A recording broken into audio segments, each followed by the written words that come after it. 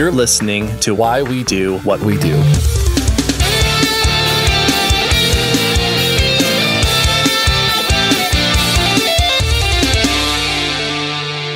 Welcome to Why We Do What We Do. I am your furry host, Abraham. And I will be your host with Luscious Locks, Shane. That was he. You guys can't see, but Shane did such a nice hair flip. I also realized I, just ruined it for myself. If we ever do an episode on furries, I've already now called myself a furry host. Uh, we'll we'll get there one day. yeah, probably nobody will remember anyway. So That's fine. maybe I've reused some. Who knows at this point? We should just do a series of episodes on like misunderstood groups. Like I feel like furries could be in there, juggalos could be in there. Oh man, Yeah.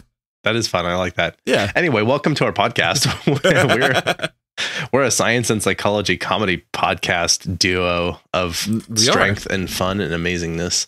Mhm. So if you're joining us for the first time, we have an unexpectedly heavy episode to talk about. Yeah, especially coming off the abortion episodes. Yeah. So we wanted to talk about hair, and it actually turns out we have a lot we could possibly say about hair. You would think, Mhm. what does hair have to do with psychology or anything? And it turns out a lot. And as a matter of fact, yes. Today, we're going to be talking primarily about hair as it relates to issues of race, particularly in the United States. But we also realize there's talking about hair as it relates to different cultures and how mm-hmm. there's like cultural traditions around hair, hair around gender norms, hmm how hair has been used culturally, historically. You think about like people wearing those big wigs. Yeah. There's like the wig party, you know? Yeah. and the evolution of it. Like there's just so much to talk about in this space. It's kind of impressive. So anyway, today we are talking about hair as it pertains to race, particularly in the United States, particularly with respect to darker skinned people of African descent. Yes. So we are talking about black hair. It's worth noting that, like, you know, I, I don't know if you all have seen us, but we're uh, two uh, middle aged white guys. I don't know if we're quite middle aged yet. So, like, I I feel like I just got aged up real quick. I don't know that we're that we're there, but I do think every now and again we'll come across a topic. A lot of times, for those of you who don't know, we will pick a topic and we'll be like, "That sounds interesting to talk about," having no idea what the body of work or anything that goes along with that most of the time. Of the time, right? So we just did the abortion episodes; those are pretty heavy, lot to unpack within that. Hair was going to be kind of like a fun one. We were like, "Yeah, we'll talk about like you know all the stuff," and then it really turned into this bigger thing. So we're probably going to do a series uh, of different hair episodes, Yeah. uh, much like we do with the sleep episodes, it's worth kind of unpacking different aspects of this, but this one is specifically about black hair. You know, we'll we'll call the series about hair. So nouns of plurality, like a gaggle of geese, that sort of thing. I Mhm. think we'll call the series of hair a tangle. A tangle, I like Yeah. that. A tangle of Thanks. hair. I do enjoy that. So anyway, if you would like to support the show, you can join us on Patreon. You can subscribe wherever you listen to podcasts, tell a friend, rate and review, buy some merch, donate, you know, whatever. Those sorts of things. So anyway, we'll talk more about that at the end of this episode. For now, let's go ahead and get into this. As we said, we're, we're primarily talking about black hair. And as we also said, we're primarily white. This was scripted and recorded by three white people. Uh huh. And so we sort of narrowed it down to this particular topic. Before we even jump into this, though, I really wanted to point out some fun things unrelated to hair. We're going to get to that. Mhm. But today, uh, the, the day that this is being published, it is Embrace Your Geekness Day. So Here we are. here we are. So if you uh, just embrace your inner geek, whatever that means to you, go out into the world and wear it on your sleeve. This is also International Rock Day, not as it pertains to music, but maybe like as it pertains to geology. So Mhm. if you're into rocks, I guess that's what Yeah. it is. If you're in the Scorpion, the Scorpions, the band, like you know, rock you Mm. like a hurricane. I guess you could appreciate that too, but it's just a different day. May as well, right? Yeah. Like for we're celebrating. It's a rock theme for Day. Rock Day. Yeah, let's just celebrate all, all kinds of rock. Dwayne the Rock Johnson will support. exactly. the movie The Rock. yeah, excellent, excellent exemplars. so it's also French Fry Day, which I mean, come on, we can get on board with this, right? Fully support that. And then for the month, July is actually National Plastic Free Month, and it's also National Ice Cream Month. So get your plastic free ice cream and embrace your inner geek while eating French fries, and you'll be living it up. I feel like you could do all of that at Ben and Jerry's. I don't know their, their policy on plastic, but yeah, I think you- definitely a lot of it at least. I think they try to avoid it. I mean, there's wooden spoons at the ones in Daytona, so Fair enough. yeah, Who'd have I like thunk? it. Who'd have thunk it? Bunch of hippies. All right, well, let's get back to talking about hair. yeah. So as we mentioned before, we're going to do a mini series on here. So we will get to that. A tangle. a tangle, uh, if you will. Second note we'd like to share is that we welcome a continued discussion and feedback on this. This is one of those topics that is heavy and that we are likely going to miss the mark on some things. So it is definitely one thing that we want to continue to open the discussion. We will share comments, we will share discussions, we will share that feedback that we get as well. So if you have any additional commentary, additional resources, additional discussion points that you'd like to share, feel free to reach out to us at info at www.wwdpodcast.com. Reach out to us, let us know, give us some feedback. We appreciate the labor that you share in making sure that we are covering this in a way that's comprehensive and thorough and, and does it justice. Now, food for thought. Maybe like stoner thought, but still food for thought. Shane, have you ever thought about how weird it is that humans as a species are one of those few species where we just grow this little hair garden out of one part of our body and it seems to just grow indefinitely longer and longer and longer? Like the only other thing I can think of that's similar to that is horses. Yeah, it's weird, right? It's very strange. And then It's very strange. if you're on the male end of the spectrum, you also are are more likely to be able to grow hair not off just the top of your head, but also at the bottom of your head, just off the Mhm. chin, bottom of your face region.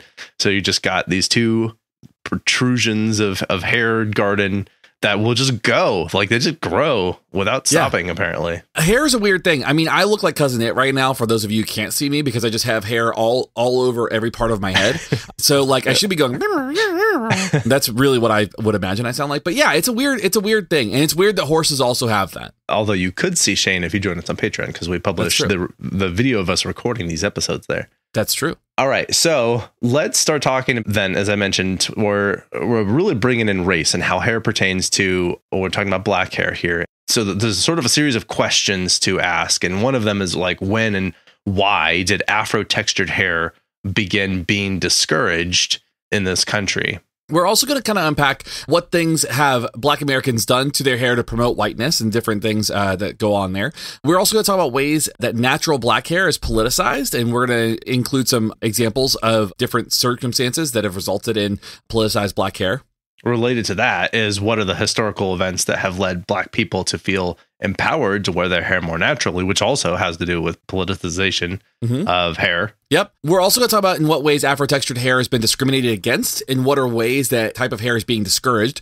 And we're going to share some examples of how hair has shaped pop culture over time and why, um, you know, I never had dreadlocks. Incidentally, I'm going to announce this now, though we have been talking about this for a long time. We're going to start releasing, or we're going to at least try a format of what we're going to call mini episodes that are just really quick, short discussions, like 15 minutes long, probably. And one of them is about shampoo, so mm-hmm. related to hair. And so Part of that tangle. part of the tangle. That's right. you know, a tangle has long strands and it's going to have some shorter strands. There's all kinds Yeah. of stuff going on there. Exactly. That's what we're saying. All right, let's get into some background about Afro textured hair. Yes. So many cultures in Africa developed hairstyles that define status or identity in regards to age, ethnicity, wealth, social rank, marital status, religion, fertility, adulthood, and death. So hair had a lot of different meanings and different styles had signals for different types of status. Yeah, and I think that'll probably be true when we talk about hair around in different cultures in the world too. Mhm. So yeah, hair was carefully groomed by those who understood the aesthetic standard, as the social implications of hair grooming were a significant part of the community life.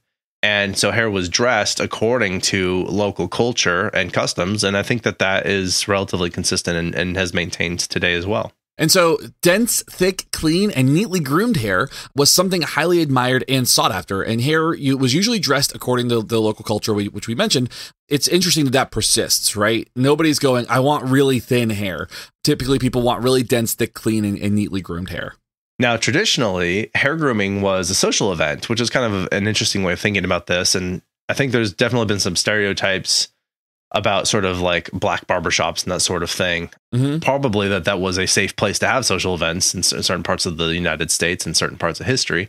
But anyway, so this this grooming hair was a social event where women could socialize and strengthen bonds with other women and their families. And I think probably there are some examples of there also being a place where men would socialize with one another Mhm. in sort of their own little space. And then there's probably a co-ed, if you will, type environment that was somewhat similar. Yeah. And so hair braiding was historically not a paid trade. So this was, again, like a social gathering, social context. It was just something you did as, part of like the community. And actually, hair braiding itself was a style worn by men in modern Senegal and the Gambia. But in, in the 20th, 21st centuries, it has developed as a multi million dollar business in the US, South Africa, and Western Europe. So hair braiding was once maybe had some utility to it, and now it has become a fashionable thing. So that's all sort of just uh, some general background so let's get into some history here, particularly as it relates to in the United States, how, how this has been treated. And there's kind of a lot to unpack here. Mm-hmm. So one of them, as we mentioned in the question to ask, is where and when does this sort of negative viewpoint of Afro textured hair derive, historically speaking? Obviously, one of the main ways that we're going to talk about this is how it pertains to slavery in the United States. And up until there was slavery, the views of Afro textured hair were mostly positive or at least neutral when viewed in sort of written history. And so, you know, looking at one person's account of this, Alvise, this is a person's name, by the way. Yeah.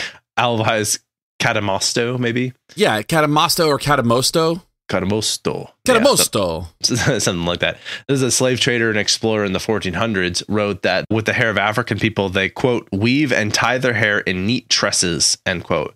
And transatlantic slavery didn't exist yet. At this point, hair was not considered ugly or inferior in any way. That would come more with some of the more, I think, institutional racism that accompanied slavery. So it's worth taking some time to talk about slavery and how this impacted hair. And so during slavery, the hair of black people was compared to animals. And so this is an unfortunate thing. Um, this is something that shouldn't have happened, but it was one of the ways that white people justified the treatment of black people and dehumanized them at this time. And the term that was often used during this time for Afro textured hair was the term woolly, which is again unfortunate. Yeah, it's not unlike in our in our intelligence episode, we discussed how essentially white people would go to great lengths to try and prove why people of darker skin were inferior. And they always came up empty handed because, of course, that's a nonsense hypothesis to begin with. Mm-hmm. But yes, dehumanizing them in every conceivable way. And one of them was hair. And so that what that meant also is that black slaves that had more European texture to their hair were often treated better or given more opportunities than those with more traditional sort of afro textured hair. Now, Africans that were captured as slaves didn't have the resources to groom their hair as they had had in Africa. So they adapted the best they could by any means. And so they would use sheep fleece tools, applying kerosene or cornmeal directly to their scalp to disinfect and clean their scalps, and often end up shaving their hair and wearing hats to protect their scalp. Because if you are not familiar with the living conditions of many, many slaves, it was not great. Those resources simply did not exist or were never provided or were taken away. yeah, all the bad things, basically. All the bad things. Every bad thing that could have happened was happening. Yeah, just any way to make life more miserable for those people. Mm-hmm. So during the 19th century, hairstyling became more popular. And to imitate white, straight hair, oftentimes slave would use various agents to try and, and style the hair, such as lard, butter, goose grease, and that would allow them to attempt to moisturize their hair, straighten it in some way. They would use hot butter knives to curl their hair. And to straighten the hair, they'd use a mixture of lye, egg, and potato. And if anybody knows anything about lye, it is a caustic chemical. So mm-hmm. it would often using these mixtures would sort of burn their scalp uh, when they're trying to straighten their hair to look more like European hair. Yeah. Now, it's important to note the rationale for why this was happening. They weren't doing it because of anything other than they were being mistreated, uh, like partially mistreated for their hair. That was like a, right. a, pain point. So if they could eliminate that that ammunition, then they might have been treated a little bit better. And so it makes sense that that they would try to kind of adapt to to reduce the amount of aversives that were coming to them. If they could quote unquote change their hair, then that was one less thing that was used against them. All right, so getting into the 1920s through the 50s and, and sort of into the 60s, after the Civil War and emancipation, many African Americans moved to the city where they were influenced by new styles, get sort of a new cultural milieu, if you will. And in these situations, many chose to lighten their hair. And of course, again, they were trying to straighten their hair. And this is to conform to sort of more Anglo European white ideals of beauty. And so, of course, then they're using these caustic chemicals to try and do these things to their hair. And the black hair industry was initially dominated by white owned businesses, but over time there were many African American or black entrepreneurs who became big players in the beauty industry. And so what ends up happening over time is a lot of black owned businesses start to pick up and they start to develop products and different tools that are specific for Afrocentric hair. As it should be. Absolutely. So, black owned businesses in the hair care industry provided jobs for thousands of, uh, of black Americans. And these business owners gave back strongly to the black community. During this time, hundreds of African Americans and black Americans became owner operators of successful beauty salons and barber shops, which become an important part of the community. And in the 1930s, conking became an innovative method in the United States for black men to straighten hair, and women would wear wigs. So again, we get sort of this approach to again trying to adhere to what might be considered white beauty standards, the sort of dead lifeless hair look. which which you know, that's what what I'm going for right now. Corpse hair. Yeah, ooh, ooh. Well, let's talk about some hair, as particularly when we start seeing a shift in the civil rights movement. But we'll do that after we get back from a message from these hair care sponsors for white people.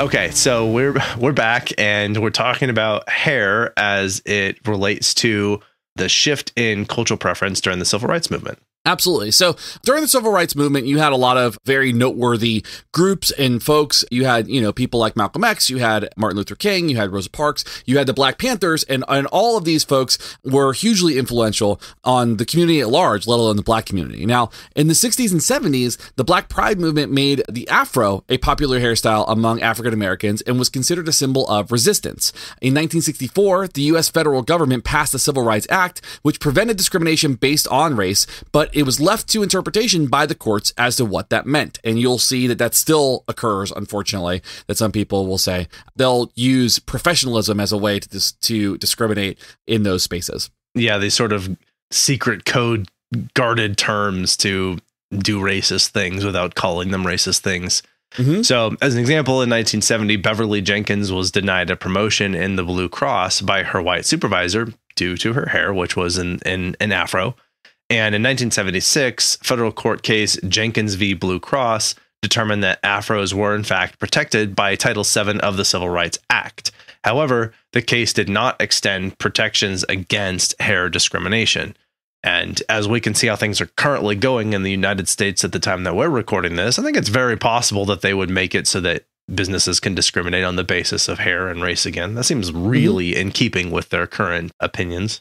Yeah, which is unfortunate. And also, too, I would like to point out that if you look at any pictures of like also a bunch of white men during the 70s, they also had afros. And I can't imagine that they were denied jobs. I mean, all you got to do is look at Bob Ross. Let's be candid for a moment, right? That's fair. So, during the height of the civil rights movement, afro textured hair was at its quote height of politicization, and wearing an afro was an easily distinguishable physical expression of black pride and the rejection of social norms. So, Black activists at this time infused straightened hair with political valence to wear one's hair straight in an attempt to simulate whiteness came to be seen by some as an act of self hatred and a sign of internalized oppression imposed by the white dominated mainstream media and portrayals in sort of popular culture. Natural hair became a symbol of pride, but it also fueled the controversy, and many opposed natural hair for its aesthetics and ideology. It caused tensions between black and white communities, as well as more conservative African Americans or black Americans. So there's this idea of like black is beautiful. And Angela Davis wore her afro as a political statement and started a movement toward natural hair. And this movement influenced a generation, including celebrities like Diana Ross, whose Jheri curls took over in the 1980s. Mm-hmm. I am one of those white people there for a white person, very curly hair. And I know that sometimes some people have referred to them as being Jheri curls. Interesting. I would not have done that myself, but yeah. Okay. I don't have curly hair, so I don't understand that. I didn't didn't choose either the curly hair or the, or the name for them. yeah, yeah. But it's, it's been imposed upon you. Yeah pretty curly for a white guy. With all that being said, I mean, a lot of that stuff. I mean, you can see just even in like these major historical movements that hair itself has become politicized and has not only become an external kind of stressor onto the black community, but it has also become an internal black community fight as well. I mean, we brought up the idea like, you know, straightened hair and quote unquote promoting whiteness Right. becomes kind of an internal struggle within the black community as well. So it's important to know and kind of mention that right now as we go into some current events that hair is in itself a, a major, major talking point in the community in general, but it's important though its impact on the black community specifically. And actually, no, a while back when we had a guest on talking about anti racism, and she commented that when she was, I think, in middle school or something, felt like she wanted to have straight hair because that's, you know, what all the pretty white girls had the straight hair. And so the, it is something that continues to this day. And the style of kinky hair, the sort of curly, kinky hair, continues to be this politicized in contemporary American society, is exemplified by that and other things. And we're in a space now where it's just a very sensitive space. It's a charge, a uh, sort of highly charged space about how one's hairstyle is, I think, a representation of one's identity and what that means for what they're saying with their identity in terms of how they wear their hair, which is kind of like a large burden Mhm. to carry. Now, I mean, I guess everybody sort of makes a choice about what they want to, how they want to use their hair in a particular way, but to feel like you're pressured to do so because you were born in a way that is for some reason taboo or seen as like a, ooh, better do something about that sort of thing. And I'm like, that's just silly, I think. Yeah. I mean, silly is a, a very gentle way of putting it. Yeah. There'd be more swearing if this was not a family friendly show. yeah, it's uh it's unfortunate. there you go. It's unfortunate that is a thing that has to be carried by marginalized groups. Now, whether an individual decides to wear their hair in its natural state or they decide to alter it, black hairstyles convey a message. In several post colonial societies, the value system promotes, quote, white bias, and, quote, ethnicities are valorized according to the tilt of whiteness, which functions as the ideological basis for status ascription, end quote. Basically what's happening is is that you know this white bias is influencing a larger community and a large group and it's actually shifting some of the things that that the community itself will value. We talked about white beauty standards before and so hairstyles will start to conform to those white beauty standards unfortunately. So these, what you might think of as being sort of these African American or just, you know, African related elements, whatever they might be. That might be the, the cultural elements, that might be sort of the style, that sort of thing. These are then sort of issued into a category of low social status or low importance, or I guess regarded not as favorably as something like European elements in hair, where these were sort of symbolized and enabled upward mobility, if you will, for a sort of ascending by adhering to those sort of standards of beauty and style. Absolutely. And so what ends up happening is this value system is created and it's reinforced by a system that is inherently racist. So systemic racism will reinforce this value system of whiteness.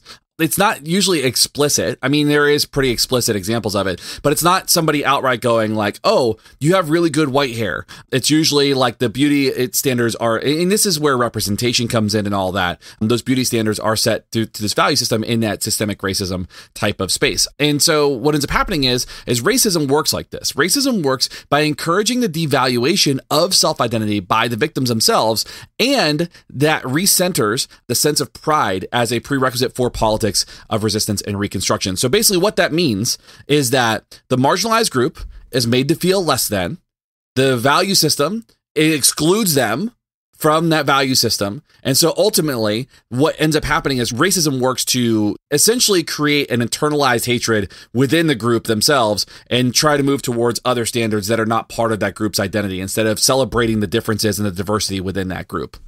And so all this sort of means that by wearing hair as it naturally grows instead, individuals with the curly, the sort of kinky hair, they were they were taking back their agency. Mhm. And they were then they had the ability to decide the value and the politics of their own hair. So it's just returning this back to that domain, or at least an attempt to do so. And that's essentially the political statement that was being made. Yeah. Now, wearing one's hair naturally also opens up a new debate, and that this is part of the complexity that this is why you see why as we kind of dig into this why this episode was so complex, Right. You know, because there's so much to to kind of unpack. So wearing one's hair naturally opens up a new debate. Are those who decide to still wear their hair straightened, for example, are they less black or less proud of their heritage than those who decide to wear their hair naturally? And this debate is an often ongoing topic of discussion within the community. This is not an external debate on our end. This is something that's happening within the community. And the issue is highly debated and disputed, creating almost a, a social divide within the community between those who decide to be natural and those who do not. This has a sort of a corresponding mirror, I think, if you look at other instances where there have been other groups who were treated unfairly, inequitably, and often poorly. And I'm thinking about how this also reflects things like some of the uh, standards that were put upon women. And specifically thinking about there was a movement for women, I mean, I guess of all races, but, uh, you know, thinking about the United States, women to that is still very common to shave a lot of parts of their body so they're not having hair on their legs on their arms and their armpits and that sort of thing and so there was this whole movement of like, well, let's like not shave anything and just grow hair naturally. Mm-hmm. And then it was seen like, okay, so if you choose to shave and like adhere to those standards and and you know take all the hair off of your body except in certain places, then you're essentially saying that what women grow naturally is is incorrect or bad. But then it sort of morphed into, and this this is where the parallel I think exists this thing like well but women can choose to do either of those things right? They and so like where men have kind of always had the choice particularly white men do anything and be like yeah that's that's whatever like, like they get to have that agency. For women it was this and for for black people is this roller coaster of like you know first it's being told what's supposed to be appropriate and then trying to adhere to that or trying to rail against it, then deciding, well, we want things to just be natural and who we are, and then being like, well, but we could also choose to have, you know, have our own standards and our own agency. And it's, I don't know, I feel like I see a sort of parallel in the emergence of those two things. And it's, again, it's complicated because there are differing values around what it means to be black and proud. There are different values around what it means to be part of a, a larger community. Like it, it's it's a really complex thing to unpack. I mean, it, this is not this is just the tip of the iceberg, folks. Yeah, like we haven't even really unpacked all of it yet. I mean, with the emergence of hip hop culture and Jamaican influences like reggae music, more non-black people have begun to wear these hairstyles. So you'll see white folks wearing black hairstyles, and a new market has developed in such hair products. Like, so there are hair products called like quote unquote out of Africa shampoo, which is kind of emerging out of this hip hop and reggae culture. Love that. Uh huh. So, in an article, Rooks in 1996 argues that hair care products designed to straighten hair, which have been marketed by white owned companies in African American publications since as far back as the 1830s, mm-hmm. that this represents unrealistic and unattainable standards of beauty. And not even like that, but like also ridiculous that those should be regarded as standards of beauty and that people should then be expected to adhere to them because they reflect a totally different cultural and like set of ancestry and and traditions out of a different part of the world. Right. And sales of relaxers took a great fall. Relaxers being, you know, these hair products meant to straighten hair, these started to decrease among African American women from 2010 to 2015. And many of the African women gave up using these products to go back to instead their sort of natural hairstyle, their natural roots, if you will. Celebrities like Esperanza Spalding, Janelle Monáe, and Solange Knowles have worn more natural looking hairstyles with respect to not, I guess, putting that kind of product in their hair. Yeah, and you see that too. Like I've seen that in like some superhero movies too, like Domino from Deadpool 2. Yeah that costume design was great. So like I'm right. fully in support. Zazie Beetz. Yeah, she's great. She's wonderful. Now, during the 19th century, throughout the West Indies, the teachings of Jamaican political leader Marcus Garvey encouraged an active rejection of European standards of beauty. The resulting Rastafari movement of the 20th century has maintained that the growth of free-form dreadlocks is related to spiritual enlightenment, largely informed by the biblical Nazarite oath. Now, the Rastafari movement has been so influential in the visibility and subsequent popularity of dreadlocks throughout the Caribbean and in global African diaspora that the term Rasta has become synonymous with the with a dreadlocked individual. So we're not going to unpack some of the unique challenges of Rastafarianism at this point. That's a different conversation yeah. along the lines of like any sort of biblical unpacking. So we'll we'll do that on a different episode, I am sure, at some point in time. We definitely should, yeah, if that's yeah. to the list. Yeah. Crown Act in 2019 in California. Essentially, this prevents discrimination based on hairstyle and hair texture by extending protection under the FEHA and the CA educate the California CA being California the the California Education Code and more than a dozen states have passed similar laws. Now, in March 2022, the House passed the Crown Act, which would ban hair related discrimination. And the Biden administration says that it looks forward to working with Congress to pass this bill in the very near future. That means everyone can wear mohawks now. hmm It's about time. All right, let's get into talking about some more pop culture and other ways that hair has been used politically after we take a quick moment to hear from some capitalists.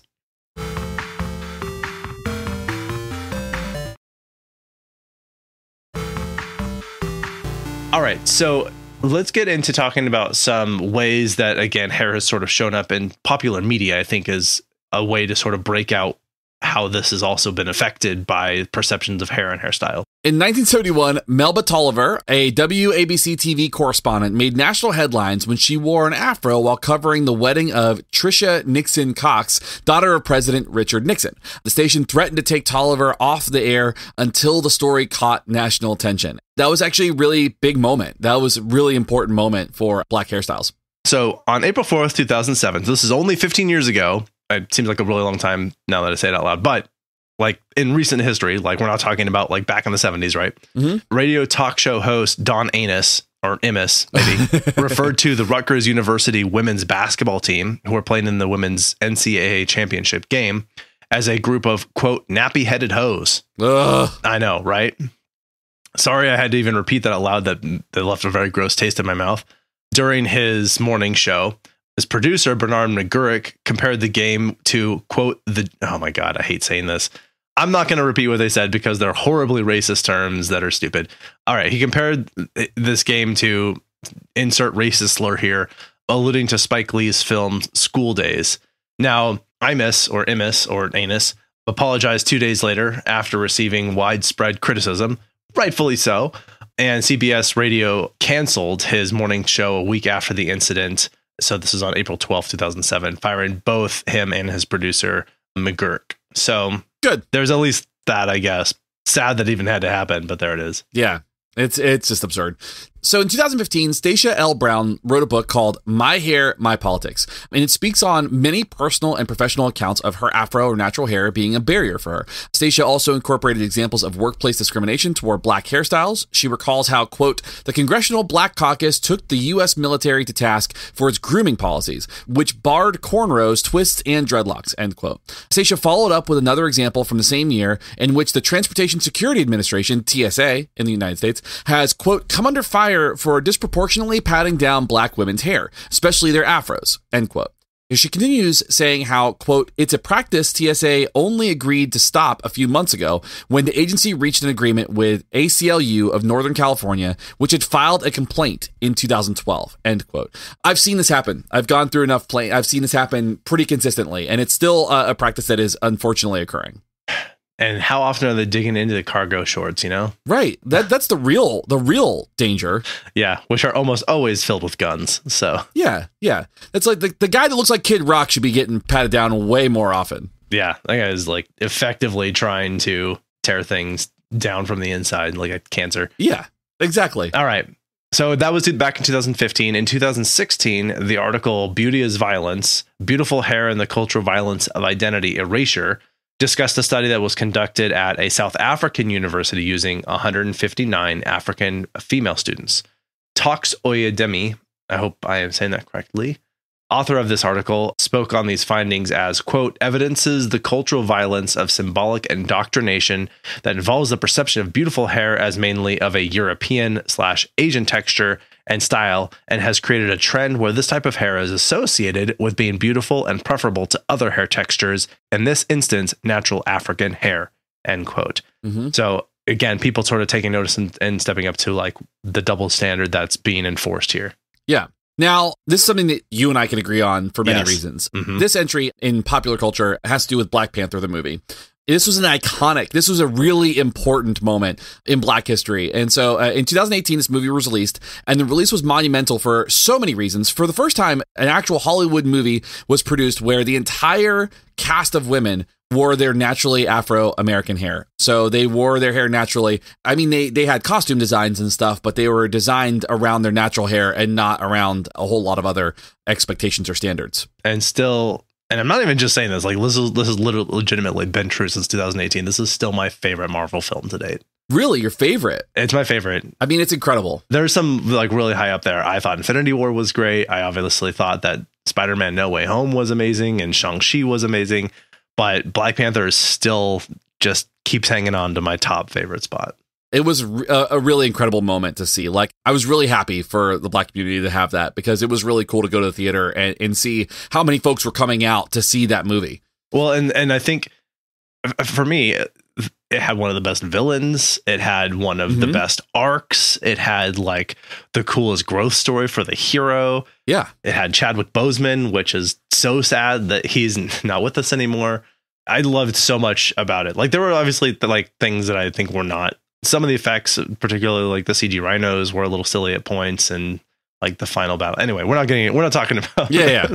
we're, not, we're actually here to critique it. Anyway, I just love the movie. I feel like as for um, um the story, the movie worked really well. So and all that is Yeah. to say, mostly why I think it's relevant is a lot of people felt like they couldn't make a movie and have these traditional things in them because people wouldn't like it. I'm like, all you have to do is tell a good story. And I think you just proved that if you tell a good story, because that movie made Yeah. so much money. Absolutely. And I mean, and it was impactful. I mean, it really like it showed that you could, with a good story, still honor the black community. And I think they did a really great job of that. Exactly.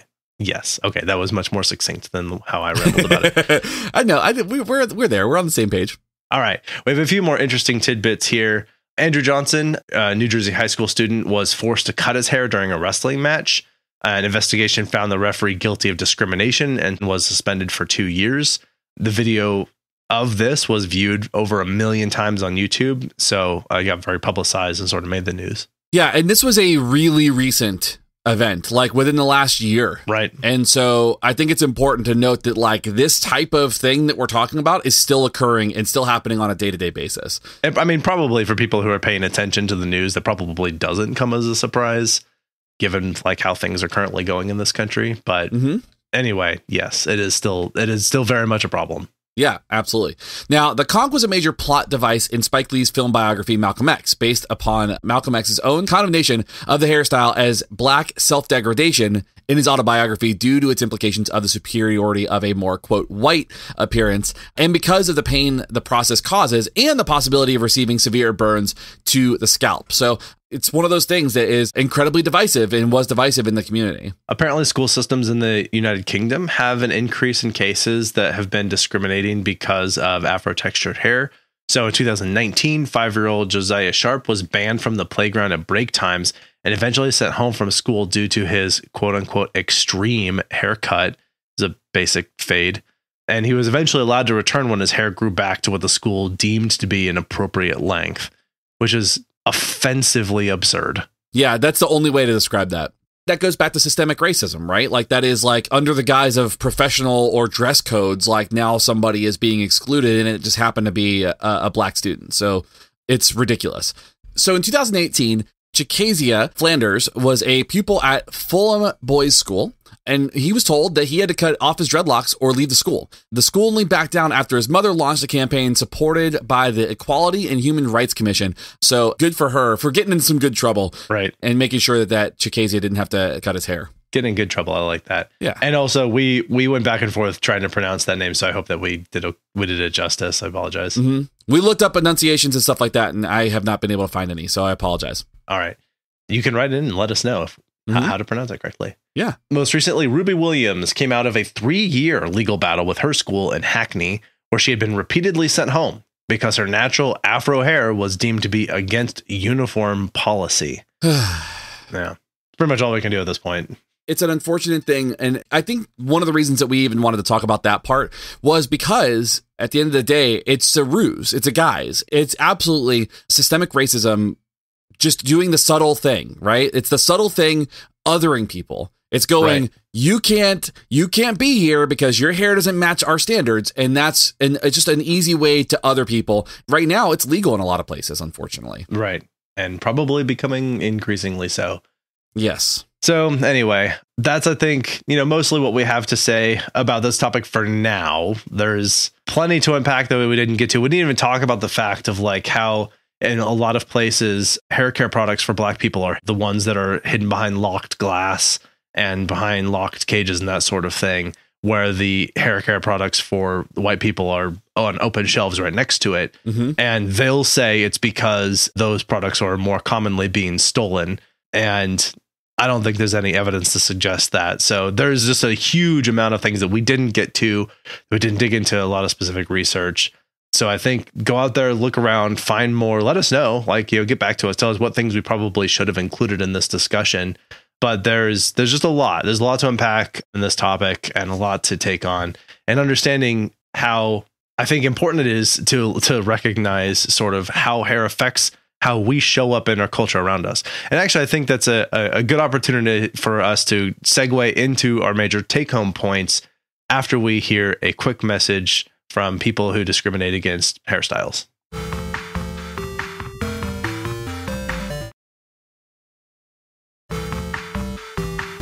Okay, we're back, and I think we have some wrap up, some take home points to talk about. And where I wanted to, to start was going to this thing of thinking about the reason that we felt like this is an appropriate topic to talk about, not only because we have found that we we have this platform and we can use it to cover political issues that we find are important to us, as we've been doing a lot recently, but also because thinking about the fact that like how someone shows up in their environment and how that environment receives those people is an important variable and how they then choose to show up in that environment again next time. And so people who are showing up in an environment where they're being told you're bad because your hair looks different from mine are going to have a very different experience and how they even just get up and get ready in the morning thinking, okay, what do I need to do with my hair so that I don't get in trouble going to school, going to work, going out in public? Mhm. What do I need to do? Like, what other things am I thinking about that nobody else that has, you know, my white counterpart friends are having to think about in terms of do I straighten my hair? How much time do I have to take? Am I going to be able to get that hair care product that's behind locked doors Right. that I need to be able to purchase so that I can have my hair look a certain way so I don't get in trouble? It's just constant battle after battle. And that takes a toll. You know, that takes a toll in, in stress. It takes a toll in, I think, how you then internalize those struggles and and feel like this is a thing about me that is either good or bad or or I'm a victim or I'm you know some I've done something wrong whatever it is and that's just like that sucks that people are finding themselves in that situation but something I think for other people to be aware of that that is an issue that people are facing Yeah, it's not fair. I think that like you bring up a good point, and then to like further that point, you know, it's a daily stressor that is, you know, am I going to be able to get this product? Is this going to be available to me? Am I going to be accepted? It also turns into is my hairstyle going to turn me into a target? oh right? yeah Like I'm already, I'm already a target, and now you've got a systemic racism situation where you've got government bodies and schools trying to control black bodies, and then on top of that, now this person who has their natural hair has become a target for hate groups and stuff like that, and it's it's a very unfortunate thing for something as simple yet as complex as hair. It's something that I personally have never had to deal with. And I've had the worst hairstyles because I don't give a shit about my hair. Which is a privilege. Which is a privilege. And i Yeah. and, and it's important to note and we recognize that that i've never had to worry about whether i could get hair care products whether i would find a salon for some like with somebody who could cut my hair right? Like i've never had that issue. And i think that like these stressors add to you know the overall stressors that that somebody from a marginalized group especially the black community in the united states is experiencing right now. Exactly.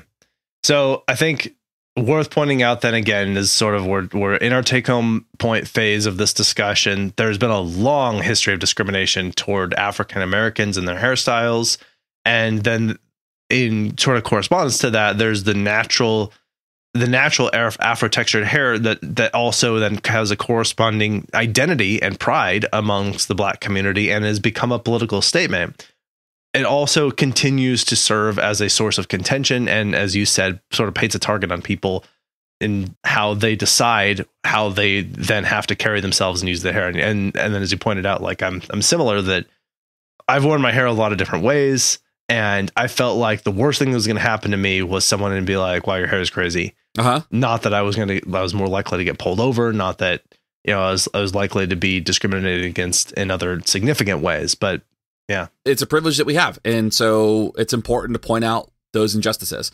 I think that goes to the idea that there's a lot of work that needs to be done socially, politically, individually to be able to understand and embrace black hair. And I think there are a lot of resources out there that help to provide some insight on the history of discrimination, how politicized this has been. And so it's definitely worth educating yourselves. And we're going to go ahead and share a few books and some resources that are definitely worth picking up. I'm adding these to my reading list as well so I can educate myself a little bit more. Sure. There's The Hair Story, Untangling the Roots of Black Hair in America by Ayana Byrd and Lori Tharps. There's Twisted, The Tangled History of Black Hair Culture by Emma Dabiri in 2020. And then there's Queens, Portraits of Black Women and Their Fabulous Hair by Michael Cunningham and George Alexander. These are different references that are out there, and resources that you can pick up and start reading. There's also been some documentaries that Britt recommended here. I have not seen any of these, but I'll take a recommendation at face value for what they are. Good Hair, uh, Chris Rock documentary in 2009, My Nappy Roots, A Journey Through Black Hair Heritage. That's a good punny name. That's good. I like that. Um, from 2010, Nappily Ever After in 2018, Back to Natural in 2019, and Natural Hair, the movie, and also 2019. So some recommendations there from Britt. Yep. And if you all have any recommendations, send them our way. Um, we will be happy to share them. Absolutely. Okay, as I said, this does not cover the entire scope of this conversation, but we've been talking about this for a while. We'll wrap it up there. Please send us any feedback or comments if you would like to. We can help read those things and add to this discussion. We're definitely very happy to hear those. Absolutely. Awesome. I definitely want to say big shout out to Britt. Thank you for her contribution in putting together the notes for this episode. Mm-hmm. And before we close this out, shall we get to some recommendations? Let's do it.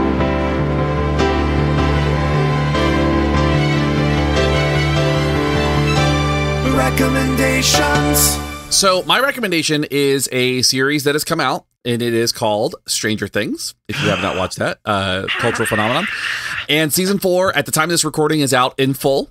Volumes one and two are out. I just have to say, these kids are incredible. Like the acting in this in this series has just gotten better and better and better. And let me tell you that season four is just the probably I would make an argument the strongest season Man. so far with how the acting is, how the, the storyline, the villain is really good. Man, Vecna is so scary. Yeah. Volume two really brings it home. Like it, it's such, it's got such a satisfying end for the season itself, and it leads up to season five in a really nice and satisfying way. It's really raised the stakes, and I'm just, I am, I can't stop thinking about it. I've been thinking about it all day. Oh, I thought they were going to wrap it up after season four. Nope. They, oh no, they said there's a very big setup for season five Oh, okay. Well, in a really I'm- good way, in a really satisfying way. I'll say. Okay. I'm extremely excited. I loved Mhm. the first part, so I'm, I'm excited to follow up on that as well. Mm-hmm. Yeah, Eddie. Eddie is one of my favorite characters. That's great. I love it. He's so ridiculous. okay. I am recommending the recent Pixar Disney joint called Turning Red. and so this is sort of a coming of age movie. And this is actually fun. So this this movie came out in 2022. Did you know, Shane, that this is the first solo female directed Pixar movie? I didn't know that actually. Yeah. I want to say that I might have heard that, but I didn't. I that didn't stay with me. Pixar has been operating making movies for over 26 years, and this is their very first uh, all Yep. female only directed movie. So cool, good, Cool. that that It's happened. about time. Yeah, great job, everybody, and it was good. It was it was a really fun, really cute movie. I enjoyed it. I think others will as well. Definitely available on Disney Plus and of course other places. So check out Turning Red and Shane's recommendation, Stranger Things season four. One hundred percent. Yes. All right. If you would like to support our show, you, as I as I mentioned at the top, and I'm gonna I'm gonna flesh this out a little bit more here. You can leave us a rating and review. You can subscribe wherever you get podcasts. You can tell a friend. You can join us on Patreon, where you'll get all kinds of bonus things. You get early access to episodes. You get videos of us recording. You can get transcripts of well, those will be available in other ways, but you can get our notes that we've written for these episodes, that sort of thing. So all kinds of of bonus goodies. Plus, it helps us out, helps us do the show. There's already some people who do that sort of thing, and they're pretty cool. So I'm going to go ahead and list them now. And that includes our supporters that are Amanda, Brad, the Daily BA, Joshua, Justin, Justine, Kim, Costia, Layla, Megan, Mike M, Mike T, Shauna, and Stephanie. Thank you all so much for your continued help. You're awesome. In addition, you can head to our website and you can pick up some merch there if you feel like you want to, you know, wear clothing that has podcast stuff on it. I do, Yeah. personally. I do. Oh, also, we have this cool little tote bag there that's got our new logo, and it's like great for groceries or books or whatever you put in tote bags. Mhm. Go on a picnic, maybe. And then, as I said, please reach out to us. We love to hear it from people. You can reach us on social media. Our handle on all of those is at podcast. You can also email us at info at WWDWWDpodcast.com. Check out our website for more things about what we're up to. And I think that's it. I just have special thanks for our team, people who made this happen. Thank you, Britt, for your notes. Thank you, Justin, Selena, Kyle, Alan, and of course, thank you, Shane, for recording with me today. As always, happy to be here. And of course, thank you all for listening. We would not have this podcast if we did not have you as our listeners. All right. Am I forgetting anything, or do you have anything to add before we wrap this up? Nope, I think that's it. Okay. Thank you all for listening. This is Abraham. And this is Shane. We're out. See ya. You've been listening to Why We Do What We Do. You can learn more about this and other episodes by going to www.wwdpodcast.com. Thanks for listening, and we hope you have an awesome day.